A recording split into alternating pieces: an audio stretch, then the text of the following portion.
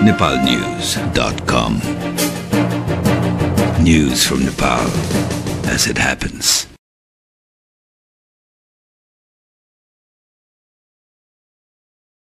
काठमाडौँबाट प्रकाशित नेपाली राष्ट्रिय दैनिक पत्रिकाहरूको समाचार सार संक्षेपमा स्वागत छ बुधबार प्रकाशित दैनिक पत्रिकाहरूले नेपाल भारत वाणिज्य सन्धि नवीकरण माओवादीद्वारा आन्दोलनको घोषणा माओवादी कार्यकर्ताहरूद्वारा देउबा लगायतका नेताहरूलाई चितवनमा आक्रमण लगायतका समाचारलाई प्रमुखताका साथ प्रकाशित गरेका छन्। वाणिज्य सन्धि नवीकरण समाचारमा गोर्खा पत्र लेख्छ नेपाली वस्तुहरूको भारतीय बजारमा पहुँच विस्तार गर्न महत्वपूर्ण मानिएको परिमार्जित नेपाल भारत वाणिज्य सन्धि नवीकरण भएको छ। सन् उन्नाइस सय छयानब्बेको वाणिज्य सन्धिलाई पुनरावलोकन सहित नवीकरण गरिएको यो सन्धिबाट नेपालले भारतसँग भोग्दै आएको ठूलो व्यापार घाटा कम हुने आशा राखिएको छ। सन्धिसँगै परिमार्जित अनाधिकृत व्यापार नियन्त्रण सहयोग सम्झौता पनि लागू भएको छ। मंगलबार एक कार्यक्रमबीच सन्धि तथा सम्झौतामा भारतीय वाणिज्य तथा उद्योग मन्त्री आनन्द शर्मा र नेपालका वाणिज्य तथा आपूर्ति मन्त्री राजेन्द्र महतोले हस्ताक्षर गर्नुभयो।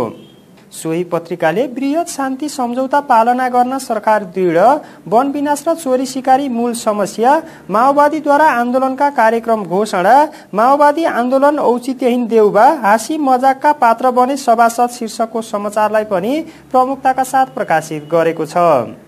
माओवादीको दोस्रो चरणको आन्दोलन जुलुसदेखि नाकाबन्दीसम्म समाचारमा अन्नपूर्ण पोस्ट लेख्छ। एकीकृत नेकपा माओवादीले नागरिक सर्वोच्चता माग गर्दै कार्तिक पन्ध्र गतेदेखि दोस्रो चरणको आन्दोलन गर्ने भएको छ। माओवादीले आफ्ना माग पूरा नभए हवाई सेवा समेत ठप्प हुने गरी नाकाबन्दी गर्ने चेतावनी दिएको छ। दोस्रो चरणको माओवादी आन्दोलन सत्ताइस गतेसम्मका लागि तय गरिएको छ। माओवादीले यस आन्दोलनबाट पनि आफ्ना मागको सुनवाई नभए मङ्सिर एक गते तेस्रो चरणको आन्दोलन थाल्ने घोषणा मङ्गलबार गरेको छ। सोही पत्रिकाले वाणिज्य सन्धिमा हस्ताक्षर नेपालमा लगानी बढाउन चीन इच्छुक पनिकाले टेरेन सूचना आयोगलाई दुई दिनमै दुई बालिकाको ज्यान गयो शीर्षकको समाचारलाई पनि प्रमुखताका साथ प्रकाशित गरेको छ। काङ्ग्रेस नेताहरूमाथि आक्रमण समाचारमा कान्तिपुर लेख्छ माओवादीले मंगलबार नारायणगढमा पूर्व प्रधानमन्त्री शेरबहादुर देउबा सिंचाई मन्त्री बालकृष्ण खाँड सभासद गगन थापा लगायतका काङ्ग्रेस नेताहरूलाई खोजी खोजी आक्रमण गरेको छ। माओवादीले कालो झण्डा देखाउँदा झडप भएपछि लाठी र ढुङ्गा वर्षाउनका साथै तरबार समेत प्रहार गरेको प्रत्यक्षदर्शीले जनाएका छन्। सोही पत्रिकाले माओवादीद्वारा आन्दोलन घोषणा प्राविधिक समितिको निर्णयमा माओवादी संशोधन सोलरबाट चल्यो कार शीर्षकको समाचारलाई पनि प्रमुखताका साथ प्रकाशित गरेको छ। नेपालमै सोलर कार समाचारमा नागरिक लेख्छ बागलुङका कक्षा दसमा अध्ययनरत कुशल केसी सोह्र वर्षीयले डिजल र पेट्रोलको विकल्पमा सौर्य ऊर्जाबाट चल्ने कार बनाएर सफल परीक्षण गरेका छन्। बागलुङ स्थित अमृत आदर्श उच्च माविमा कक्षा दसमा अध्ययनरत कुशलले सम्भवतः देशकै पहिलोपल्ट सोलरबाट चल्ने कार बनाएर गुडाएका छन्।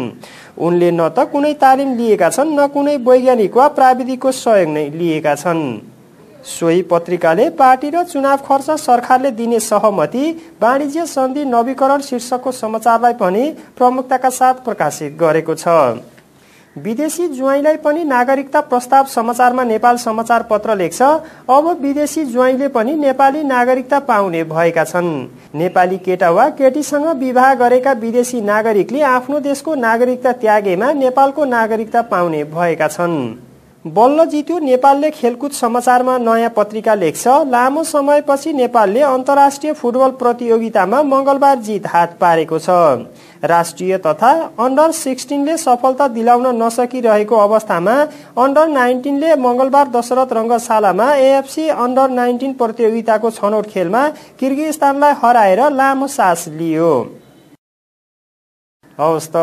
आजलाई नेपाली राष्ट्रिय दैनिक पत्रिकाहरूको समाचार सार संक्षेप यति नै। nepalnews.com News from Nepal as it happens.